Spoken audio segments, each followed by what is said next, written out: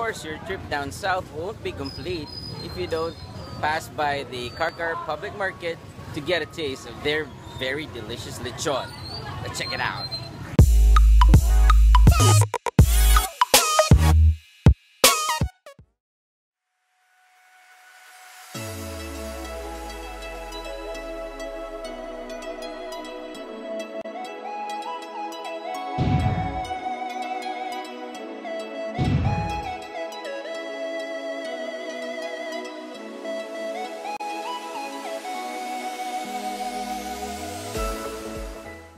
So this marks our second hour of driving.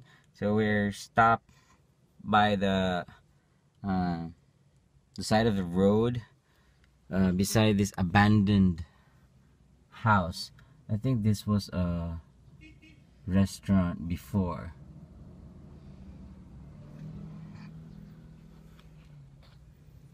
And we're heading back out. We still have a little over an hour left of driving. So let's go.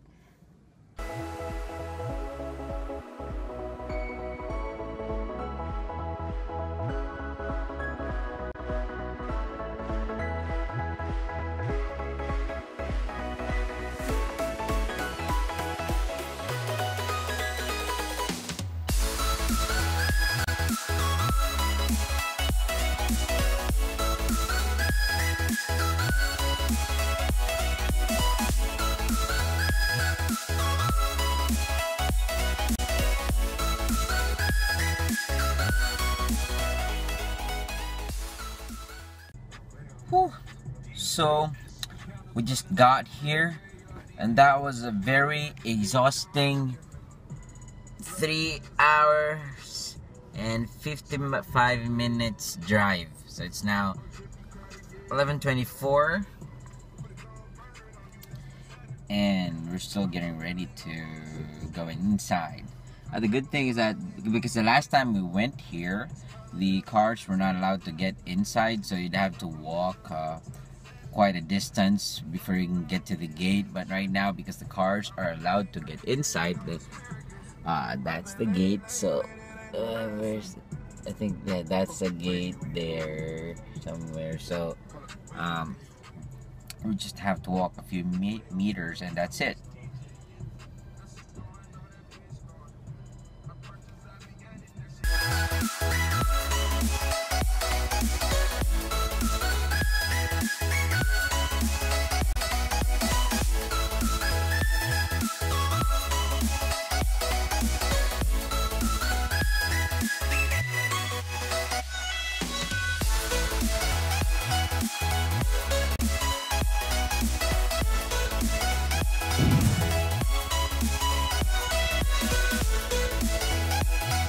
So we're now here at the hot springs.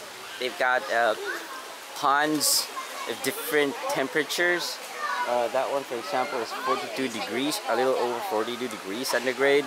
Uh, that one over there is a little over 36, and another temperature on the third uh, pond. So I don't think we can bear the 42 degrees uh, temperature. Uh, we try to dip our toes, but it's too hot, so we're gonna try 36.